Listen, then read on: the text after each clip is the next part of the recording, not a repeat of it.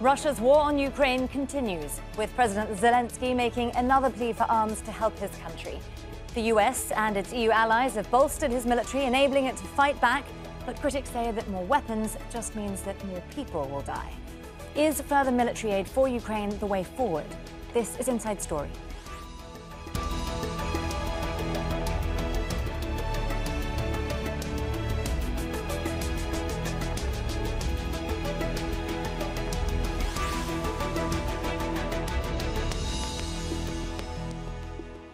Hello there, and welcome to the programme. I'm Nastasya Tay. Now, Russia's invasion of Ukraine has brought war between two European countries on a scale not seen since World War II. Death and destruction has been extensive, but Russia has been met with stiff resistance, and Ukrainian forces have also retaken some territory. Western arms and training have played a key role, forcing Russia to reassess its tactics. Moscow is now switching to long range weapons and drones.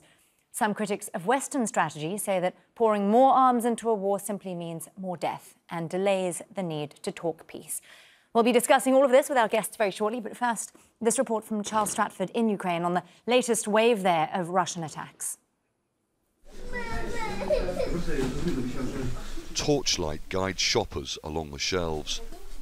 Russia's almost nightly bombardment of Ukraine's electricity and energy infrastructure means millions of Ukrainians spend much of their daily life in the dark. Victoria is shopping with her three-year-old son, Daniel.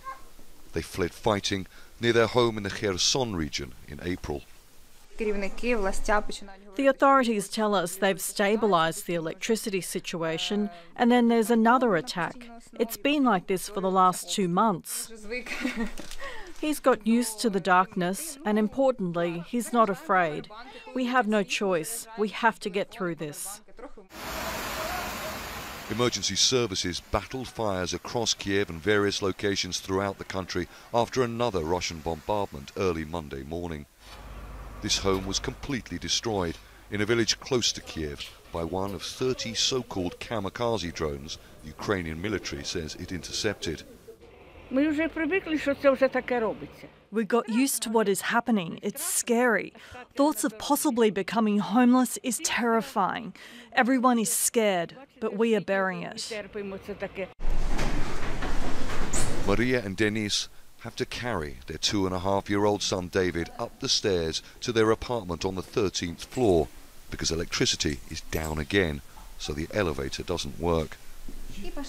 Ten days after the invasion, as Russian forces advanced towards their apartment block in Irpin, they fled to the Netherlands and then France. They have only recently returned.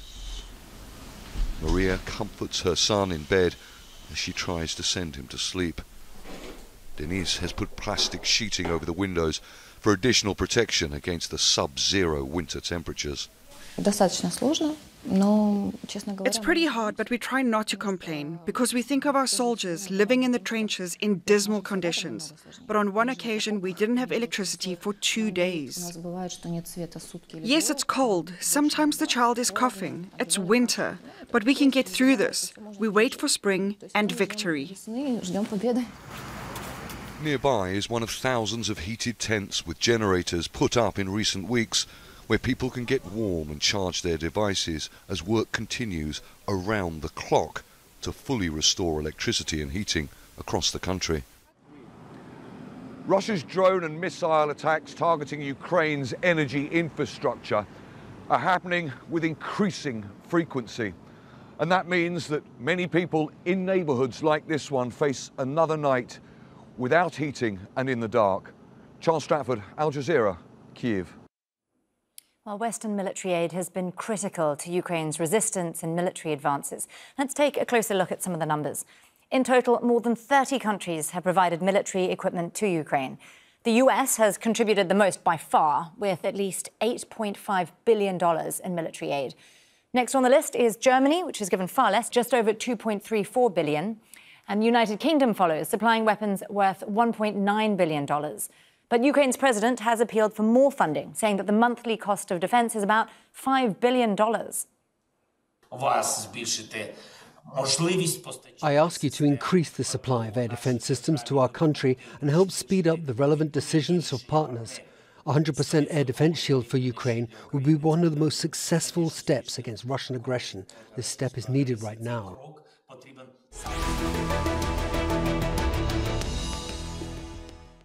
Well, for more on this, I'm now joined by all of our guests. In Kiev, we have Peter Zalmayev. He's the executive director of the Eurasia Democracy Initiative. In Moscow, we have Pavel Felgenhauer. He's a defense and military analyst. And in Riga, Latvia, is Leonid Ragozin, uh, an independent journalist and publisher of a book called European Tragedy, a history of Russia and the current conflict. A warm welcome to you all. Thank you so much for joining us here on Inside Story. We know that Kiev has been coming under renewed attacks in recent days, so I'll start there. Peter, presumably you'd like to see more Western weapons then to help defend your city? Well, indeed, and uh, this, this, is something that we've been obviously warning about since at least October uh, the 10th, which is the, the day when the first such strikes occurred. You know, we are hearing very positive signals from Washington that the Patriot air defense system uh, may finally be given to Ukraine. This should have been done weeks, if not months ago, and it will still take uh, a while to train Ukrainians to use it because uh, America cannot send its own technicians to operate them or soldiers that that would be considered as uh, uh, participation direct participation in the war.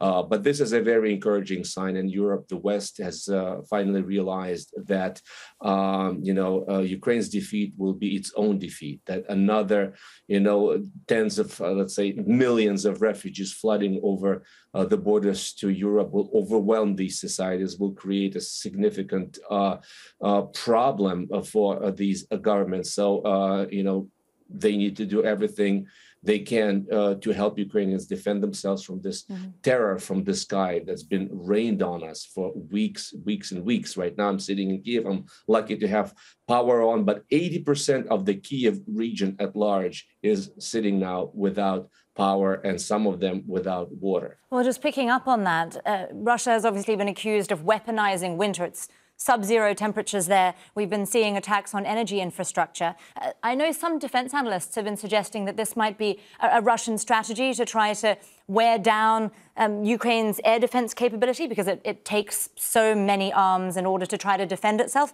Uh, Pavel, do you think that's the Russian plan here?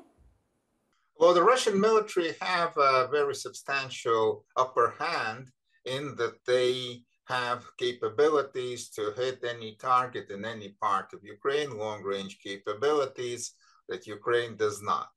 But the problem with this long range uh, attack arm of the Russian military is that they can hit only stationary targets and big targets. They can't hit uh, mobile targets like, say, convoys or trains bringing uh, reinforcements and weapons to the to the front line and from the west, uh, because Russian bombers don't venture to fly deep into Ukraine at all.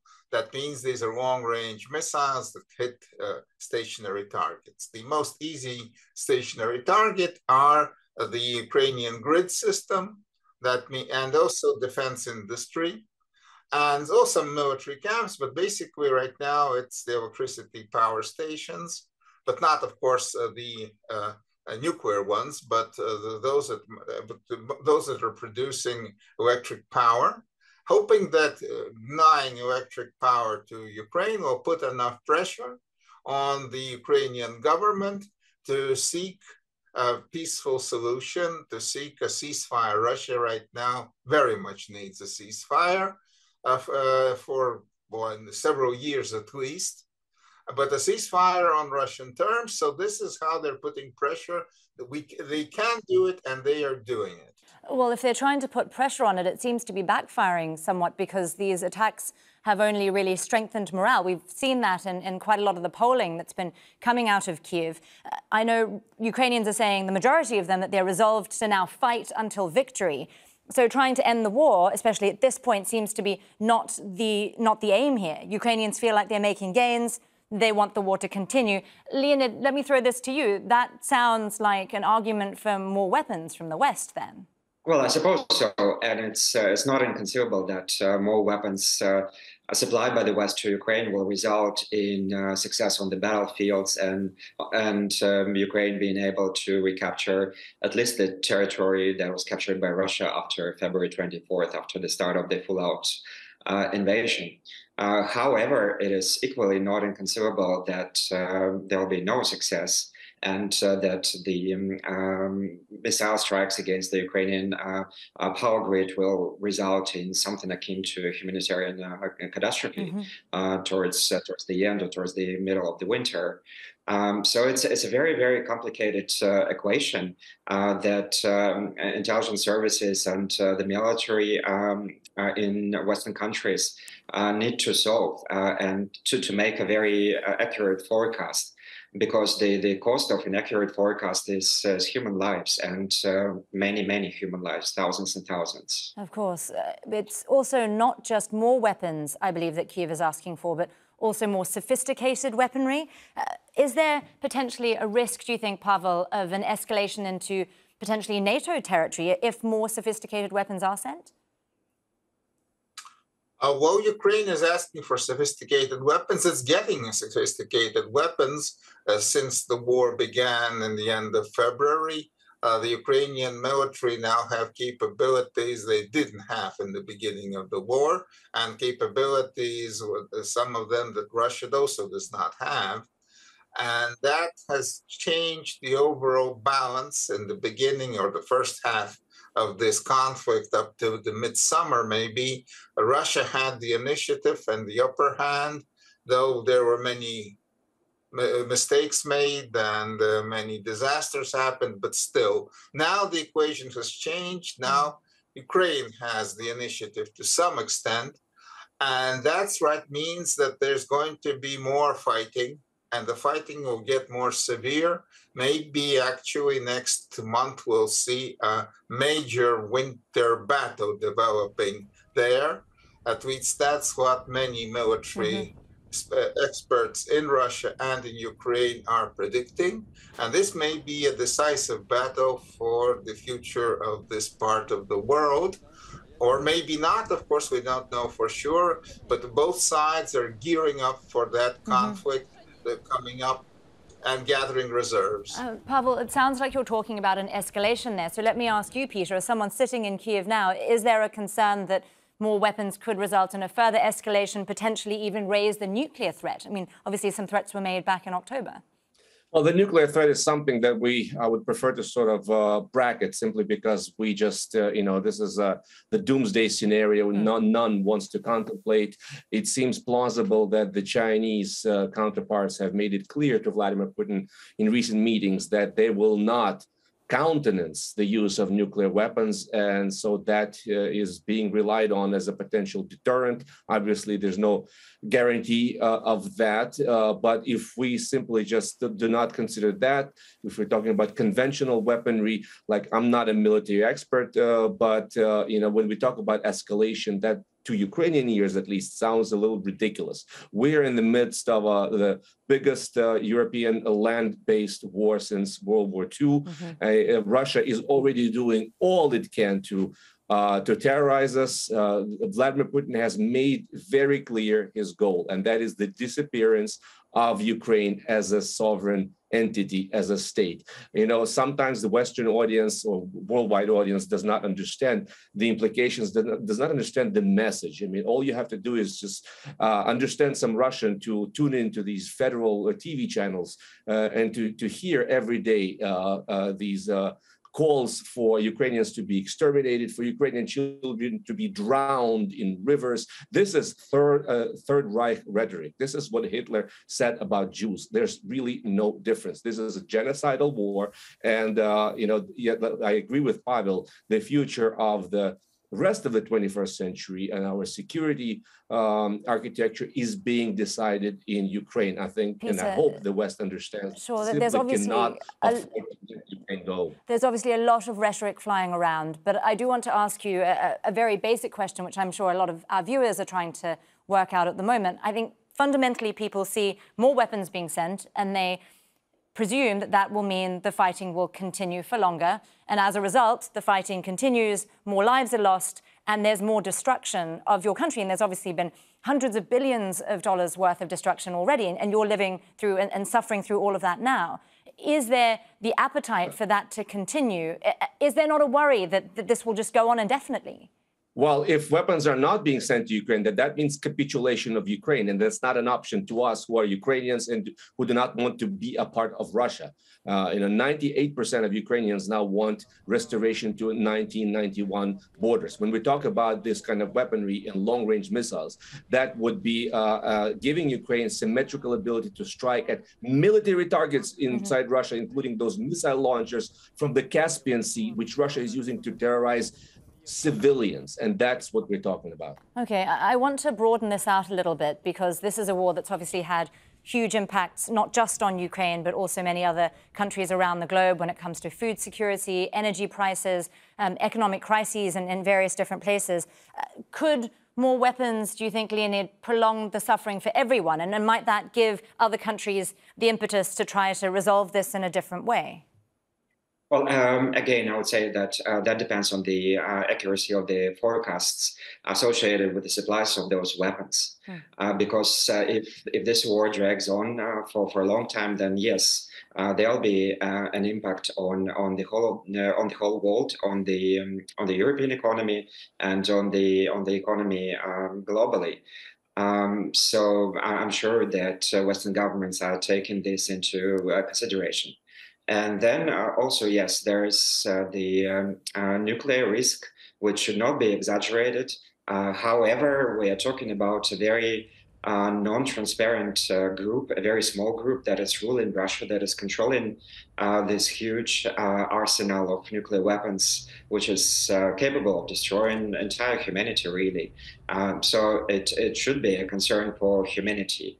Um, so um, yes, on the one hand, uh, it is a just cause to uh, arm and support Ukraine. Uh, but also all these uh, considerations uh, uh, regarding the, the, the, future of, of the world, uh, mm-hmm. really, or the future of humanity, uh, should be also taken into account. We don't know whether uh, Putin is a suicidal person and mm-hmm. whether his entourage are suicidal as well. Okay. I want to turn to some of the pressure that's been mounting on different Western countries involved here, particularly the US. I, I see that just in the last few weeks, Russia pulled out of the New START treaty talks, the, the, um, their agreement to reduce nuclear arms, and they're trying to ramp up pressure clearly on Washington in order to stop supporting Ukraine. Pavel, do you think that's working at all? Well, Russia is using, of course, the nuclear deterrent uh, fully as a deterrent. That's for what nuclear weapons were made, to use them as a deterrent, meaning, to, in plain words, that's nuclear uh, blackmail.